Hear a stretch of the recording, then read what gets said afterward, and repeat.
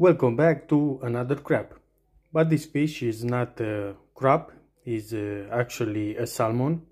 So uh, we are going to cook today some uh, tocana, salmon tocana, but because it's uh, Italian style, we are going uh, to name it salmon toscana because it, to be more precise, this is from Tuscany, Italy. So the ingredients for this recipe is salmon, lemon, garlic, salt and pepper, uh, cherry tomatoes.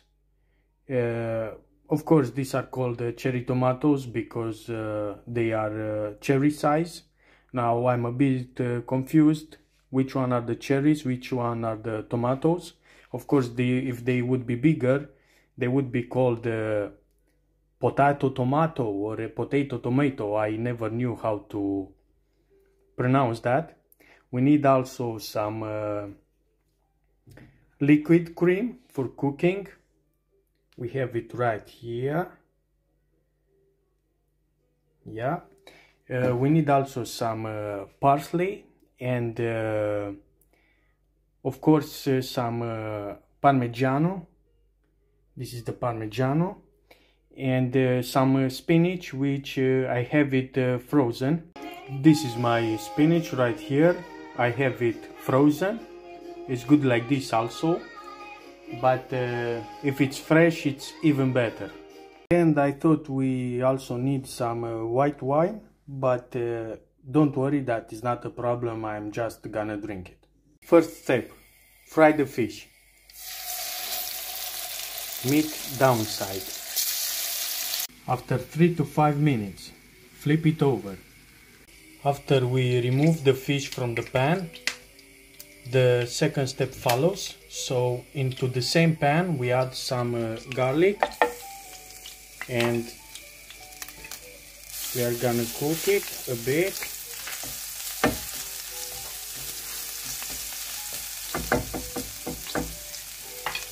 And then add the cream. Now we are going to stir gently. On the third step in another pan a new pan uh, add some oil and the tomatoes and fry them for about 2-3 minutes.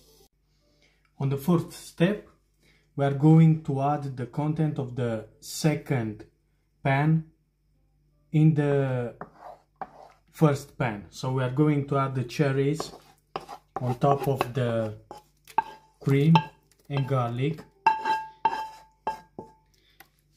And now we can also add the spinach and we are going to cook it for uh, if it's uh, fresh for about uh, 5 minutes and if it's frozen for uh, 7 to 8 minutes on 5 add some salt and pepper the parmigiano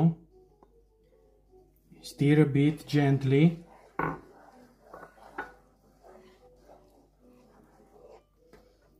and then the fish goes on top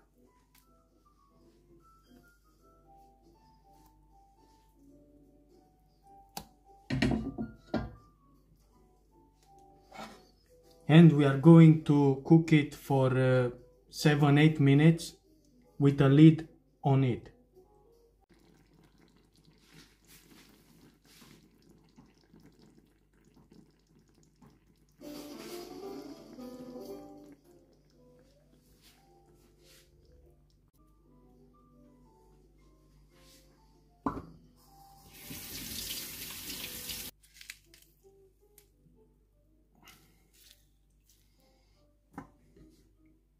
Ecco,